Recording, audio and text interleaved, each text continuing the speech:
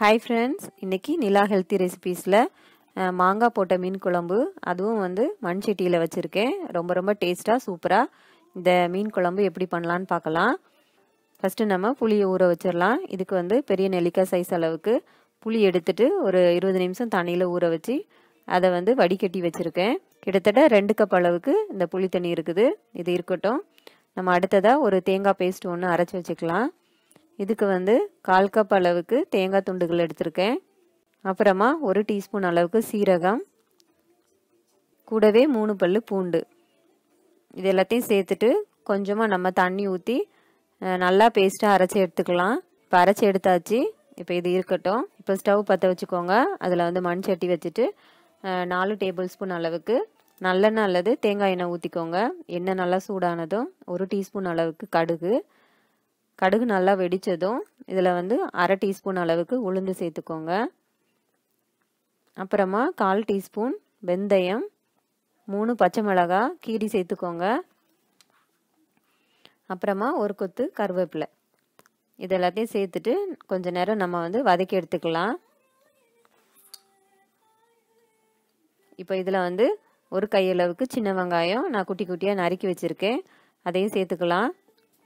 இப்போ வெங்காயம் நல்லா பொன்னிறமாக வர வரைக்கும் நல்லா வதக்கிக்கலாம். கொஞ்சமாக உப்பு போட்டு வதக்கிக்கோங்க வதக்கும் போது அப்படின்னா சீக்கிரமாக வதங்கிரும். இப்போ இதில் ஒரு சின்ன தக்காளி சின்ன சின்னதாக நறுக்கி வச்சுருக்கேன். அதையும் சேர்த்துக்கலாம். கூடவே இன்றைக்கி நான் வீட்டில் அரைச்ச மீன் கறி மசாலா பொடி மூணு டேபிள் ஸ்பூன் அளவுக்கு எடுத்திருக்கேன். நீங்கள் உங்கள் காரத்துக்கு ஏற்ற மாதிரி உங்கள் மீன் கறி மசாலாவை சேர்த்துக்கோங்க. இப்போ இதை வந்து நல்லா ஒரு அஞ்சு நிமிஷம் நம்ம வந்து வதக்கிக்கலாம். நீங்கள் அஞ்சு நிமிஷம் வதக்கும் போது இந்த மாதிரி சட்டியில் எதுவுமே ஒட்டாமல் சூப்பராக வந்துடும் இந்த மாதிரி நம்ம வதக்கும் போது மசாலாவோட பச்சை வாசனையும் போயிடும் தக்காளியும் நல்லா வெந்துடும் இப்போ இதில் நம்ம கரைச்சி வச்சுருக்கிற புளி தண்ணியை சேர்த்துக்கலாம். இது வந்து ரெண்டு கப் அளவுக்கு நான் புளி தண்ணி சேர்த்துருக்கேன். இப்போ இதை நல்லா மிக்ஸ் பண்ணிக்கோங்க. இப்போ நல்லா மிக்ஸ் பண்ணியாச்சு. இப்போ இதை மூடி வச்சுட்டு நல்லா கொதிக்கட்டும். இப்போ இது நல்லா ஒரு கொதி வந்துருச்சு. இப்போ நம்ம அரைச்சி வச்சிருக்கிற தேங்காய் பேஸ்ட்டையும் இதில் சேர்த்துடலாம். இப்போ இந்த ஜாரை மட்டும் லைட்டாக அலசிட்டு அதில் வந்து ஒரு முக்கால் கப் அளவுக்கு தண்ணி சேர்த்துக்கலாம் திரும்பவும். இப்போ குழம்புக்கு தேவையான அளவுக்கு உப்பு போட்டுட்டு நல்லா ஒரு தடவை மிக்ஸ் பண்ணிக்கோங்க. இப்போ இது நல்லா மிக்ஸ் பண்ணியாச்சு. இப்போ இதை மூடி வச்சுட்டு ஒரு பத்து நிமிஷம் நல்லா நம்ம வந்து கொதிக்க வைக்கணும்.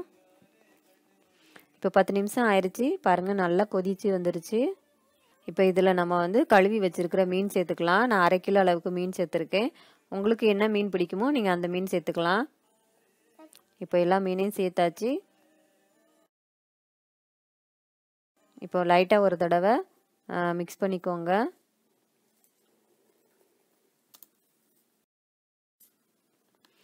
இப்போ இதை மூடி வச்சுருங்க. இப்போ இது அப்படியே ஒரு அஞ்சு நிமிஷம் வேகட்டும்.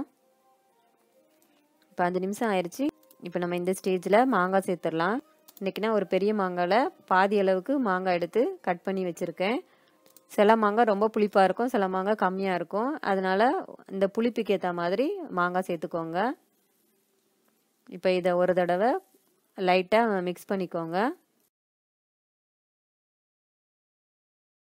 இப்போ இதை மூடி வச்சிடலாம். இது அப்படியே ஒரு இருபது நிமிஷம் சிம்லேயே இருக்கட்டும்.